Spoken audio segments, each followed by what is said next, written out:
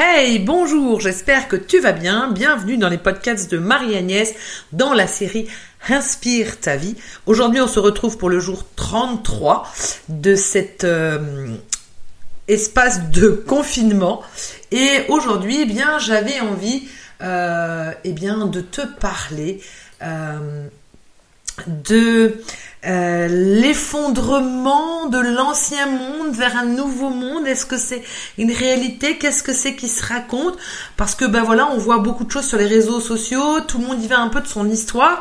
Et, euh, et est-ce que on est vraiment euh, dans cette réalité-là euh, d'un monde ancien qui s'écroulerait, d'un nouveau qui arriverait? Eh bien voilà ce dont j'ai envie de te parler aujourd'hui. Mais avant cela, comme d'habitude, on va prendre une grande inspiration pour revenir ici et maintenant dans son corps, dans ses cellules.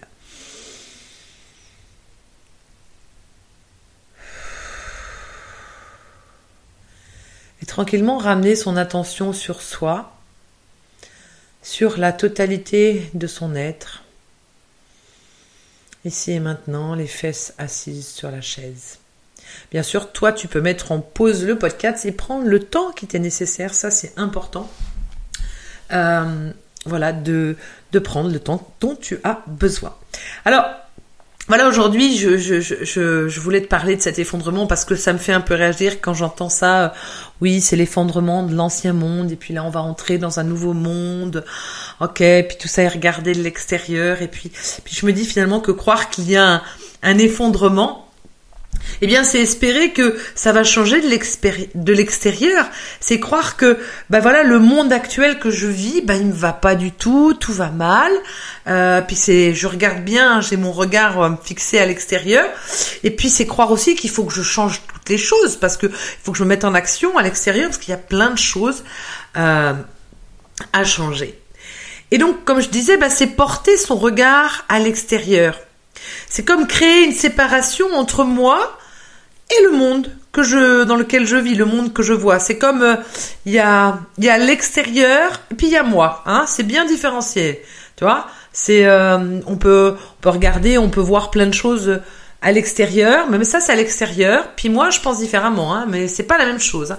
Donc on crée vraiment une, une séparation qu'on va retrouver aussi. Il y a moi, puis mon job, ou moi et mes clients, ou dans la famille. Il y a moi et mes enfants moi, mon conjoint. Mais tu vois, je mets vraiment une séparation, quoi. J'ai mon, mon regard fixé sur l'extérieur, sur, sur mes clients, sur mon business, ou sur mon mari, ou sur mes enfants.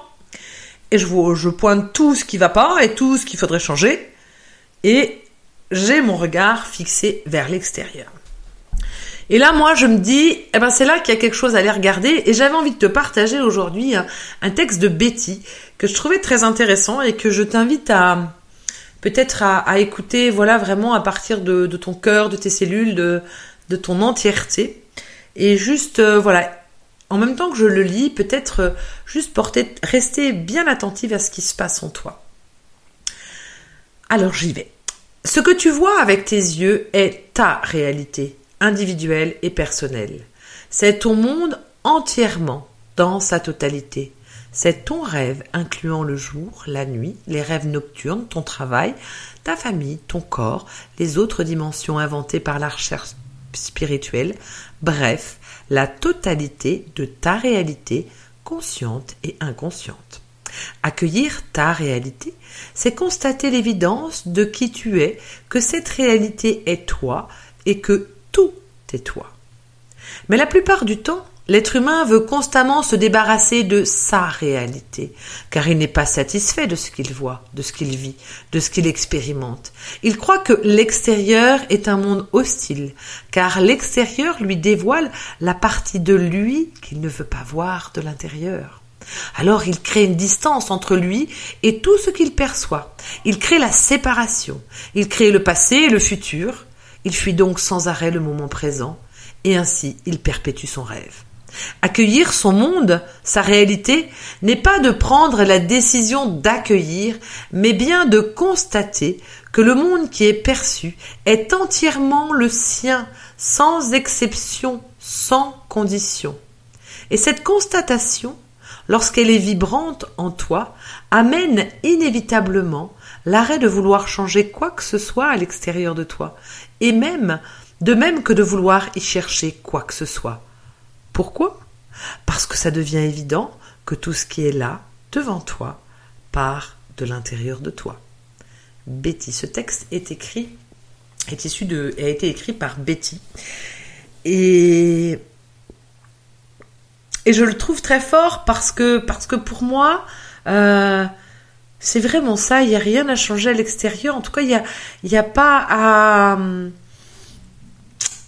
à vouloir que le monde change de l'extérieur, de voir cet effondrement. Tout ça, pour moi, c'est des histoires et qu'à un moment donné, ben, peut-être qu'il serait bon d'arrêter d'attendre qu'il y ait des changements de notre monde parce qu'on est là à, pleurer, à geindre sur le monde qui va de travers, qui va pas bien et, et d'arrêter d'attendre ces changements de l'extérieur, mais tourner vraiment véritablement euh, son regard sur soi. Et pour moi, c'est vraiment là où on en est peut-être aujourd'hui, c'est cette grande ouverture de conscience, de prendre totalement la responsabilité de nos vies. Moi, c'est en ce sens que je fais mes accompagnements avec euh, euh, les gens qui viennent près de moi, que ce soit des femmes ou des hommes, et que ce soit que ça concerne la vie professionnelle, la vie personnelle ou la vie familiale, eh bien, c'est de prendre l'entière responsabilité de ce qu'on vit. Donc, d'avoir sans arrêt les caméras tournées vers soi. Parce que tant qu'on voudra, qu'on mettra notre énergie sur l'extérieur en disant ah le monde il va mal et puis on regarde le monde et on le pointe le monde du doigt, eh ben on va rien changer du tout. Alors que si ce doigt, on le pointe sur nous, ok, le monde va mal à l'extérieur, mais qu'est-ce qui se passe en moi? Qu'est-ce que le fait que c'est de prendre conscience que cette réalité que je vois, elle prend racine en moi. Je sais que parfois c'est dur à comprendre. Moi, il m'a fallu du temps pour vraiment comprendre et expérimenter ça.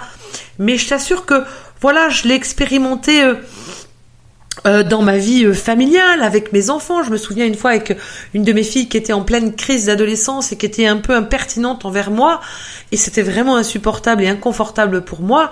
Eh bien, euh, j'ai pris des temps d'introspection et je suis allée regarder en moi et je t'assure que je la fais courte là, mais je t'assure que sans que je ne dise rien à ma fille, les comportements de ma fille ont changé. J'avais été regarder en moi. J'avais rien fait à l'extérieur. Au niveau de mon business, c'est la même chose. Au niveau de mon boulot, euh, à chaque fois que je, je, je me mets en, en, action, en tout cas sur l'extérieur, euh, eh ben ça part de moi, ça part de je me pose à l'intérieur de moi avant tout. C'est de là qui démarre mon business, en tout cas mes accompagnements, ce que j'ai envie d'offrir aux femmes, le changement que j'ai envie de voir, les, les ouvertures de conscience qui m'animent, eh ben elles, elles prennent racine en moi nulle part ailleurs. Comment je pourrais parler d'ouverture de conscience, de responsabilité de vie si à l'intérieur de moi, c'était pas vécu de la même façon. Donc tout prend racine à l'intérieur de moi. Et donc de voir que euh, plus tu fais ce retournement euh, à l'intérieur de toi, plus ta réalité change et ton monde se crée à ton image intérieure. Donc, et moi, c'est ce que j'ai vécu là euh, pendant cette pandémie là. En tout cas, là, les derniers jours, je vais vous reparler encore de ma de ma haie, mais c'était vraiment juste incroyable ce qu'on a vécu. Euh, cette haie qui était énorme, hein, 200, euh, plus de 280 pieds à planter. J'avais prévu de faire une grosse journée participative. Je savais que ça allait être du boulot. On avait 10 euh, tonnes de paille à étaler après la plantation, quoi. Donc un truc énorme. Puis il se trouve que, eh ben, cette haie, je pouvais pas la planter parce que la rivière débordait. Et puis, euh, et puis au moment où c'est bon pour la planter, ben on est en confinement, donc je peux vraiment pas faire une journée participative. Donc ça se fait que entre nous. Et en même temps, ça a été génial de vivre cette expérience parce que euh, bah justement, ma réalité, elle a juste été merveilleuse, paisible, pleine de joie de vivre. On était 11, 11 à être en action. Oui, je dis bien 11 parce que même ma mamie de 89 ans, elle, elle s'est mise en action. Chacun s'est écouté, chacun s'est a, a, fait en fonction de sa mesure, parce que des fois j'avais des filles qui restaient plus à la maison à faire, à préparer une collation, préparer le repas du soir, puis il y en a qui venaient.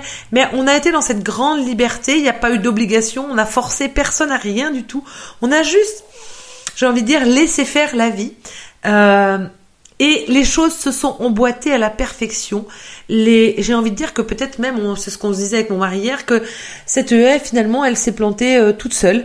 Euh, ça a été super léger, ça s'est articulé avec une grande fluidité. C'était juste magnifique. Alors, ben parfois on pourrait dire ouais bah c'est super, t'as de la chance. Ben non, c'est pas de la chance. C'est justement là je récolte, je vois tout, ma réalité de ma vie de famille, de ce bien vivre ensemble, de cette communauté qui est pleine d'amour, de joie, de soutien, de bienveillance. Euh, eh bien, c'est ma réalité, mais cette réalité, eh bien, elle a été, elle prend racine à l'intérieur de moi. Donc ce que je vis n'est pas de la chance, ce que je vis, c'est, j'ai envie de dire, des années d'introspection et de travail intérieur, de, de m'entraîner aussi. Hein. Je le disais il n'y a pas si longtemps avec un client, il disait, bah oui, c'est pas évident de, de finalement de prendre la responsabilité de tourner son regard vers soi. Et je dis oui, et puis c'est parfois c'est pas évident parce que c'est pas un automatisme, et puis surtout c'est surtout parfois très confrontant. Il faut bien le dire. Et, et c'est un entraînement. Hein, comme un sportif qui va s'entraîner à répéter le même geste, ben pendant des années, je me suis entraînée, quoi qu'il advienne dans ma réalité, eh bien de tourner les caméras sur moi et d'aller regarder, ok, il se passe quoi là en moi, et à faire ça pour chaque expérience de ma vie, à chaque instant, je fais ça, et là, eh bien vraiment, j'ai construit petit à petit ma réalité qui fait qu'aujourd'hui, ce confinement, pour moi, il, c'est juste la vie qui continue. Et pour moi, est-ce qu'il y a vraiment euh, un ancien monde qui tombe et un nouveau monde qui se crée? Non. Enfin, en tout cas, moi, j'y crois pas. Moi, je crois plutôt à, une, ouverture des consciences. Ça, c'est sûr. Les consciences s'ouvrent, s'élargissent. Euh, mais, et en cela, effectivement, que le monde va peut-être changer, mais il va pas y avoir un changement euh, spectaculaire, hein, on va pas avoir un renversement. C'est la vie qui continue, c'est tout, simplement. La vie continue sa route dans une espèce de perfection. Donc il y a pas le si le monde dans lequel tu vis aujourd'hui te convient pas, eh bien, c'est pas d'attendre qu'il change de l'extérieur. L'invitation, il est de plonger en toi et d'aller regarder ce qui ce qui te plaît pas dans ce monde actuel. Tu vois et, de voir que chacun, chacune, eh ben, on a chacun notre propre réalité du monde. Donc, ben vraiment, euh, je trouve que la meilleure chose qu'on ait à faire, c'est vraiment de tourner ces caméras sur nous et d'oser plonger en nous et d'oser aller regarder ce qui se passe là par rapport à la situation qu'on vit aujourd'hui et de prendre conscience que ah ok le monde que je vois le chaos que je vois à l'extérieur euh, ben, il prend racine en moi. Ben, je sais que parfois c'est pas facile, c'est pas toujours facile à, à, comprendre, enfin c'est pas à comprendre, en tout cas parce que c'est tellement pas habituel que parfois on bute un peu là-dessus. Mais, mais moi je fais l'expérience aujourd'hui de finalement toutes ces années de travail que j'ai fait de justement de ce grand retournement et de voir comment ma réalité elle est juste euh, paisible, joyeuse. Enfin voilà, je, je, je euh, je suis super heureuse dans ma famille et, et, dans mon monde et puis puis même dans dans, la, dans ma ville où je suis enfin en tout cas tout ce qui m'entoure euh, est beau paisible il n'y a pas de il n'y a pas de monde à changer. Mon monde va très très bien en fait.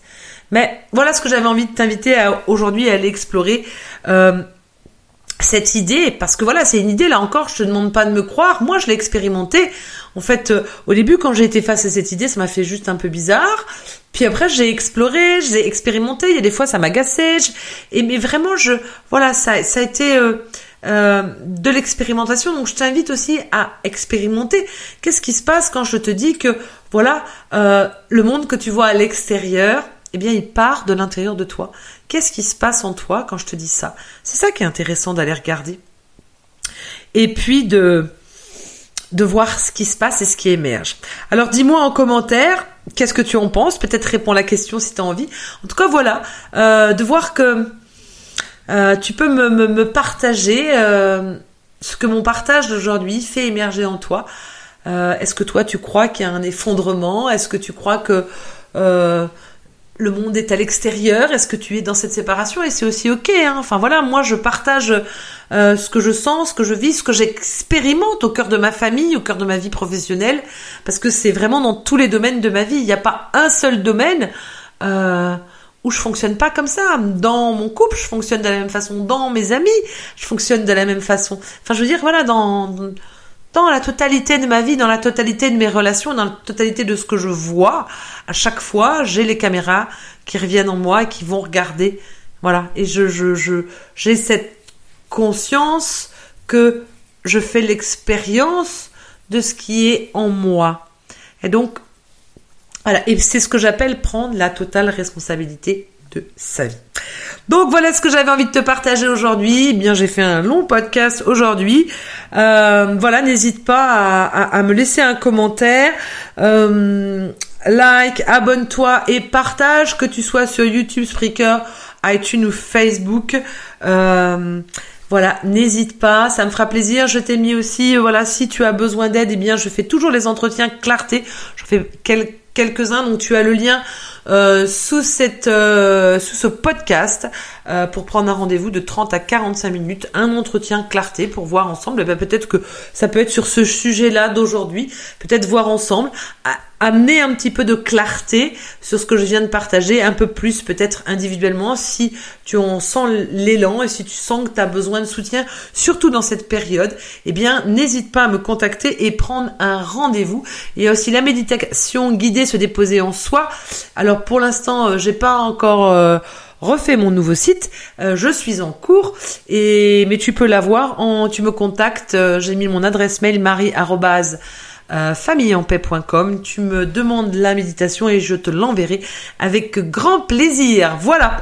Eh bien, je vais m'arrêter ici pour aujourd'hui parce que j'entends l'orage qui vient. Je pense que je vais éteindre tous les ordinateurs. En attendant, moi, je te souhaite tout le meilleur au cœur de ta vie, au cœur de ton confinement. Et puis, je t'envoie tout plein de bisous virtuels et à demain. Ciao